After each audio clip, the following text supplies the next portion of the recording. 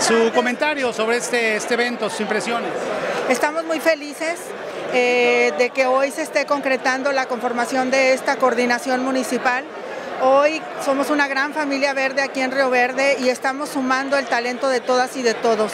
Es un proyecto grande, es un proyecto donde hay espacio y cabida para que todas y todos participen y pues bueno, creo que es el primer paso para lo que va a venir a ser el Partido Verde aquí en Río Verde, San Luis Potosí.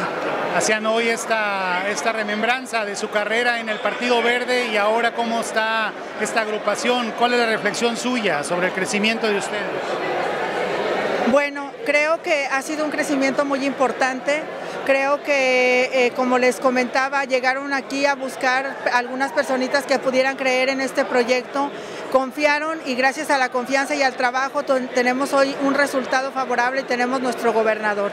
Creo que hoy más que nunca la misma gente se está dando cuenta que este es el proyecto político más importante y los de casa pues han de salir a invitar a todos aquellos y aquellas que todavía no están dentro del proyecto.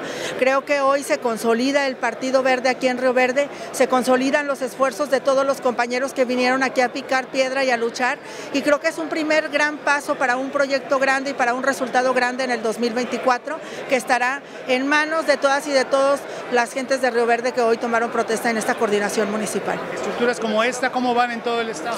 Ya las estamos conformando, estamos avanzando. Este, el arranque fue aquí en Río Verde, es la primera coordinación municipal que estamos nombrando en el estado y a partir de la próxima semana estaremos ya organizando la agenda de todas las fechas para poder arrancar en el resto de los municipios del estado. Muchas gracias. ¿Qué tal el calor? Mucho calor, sí.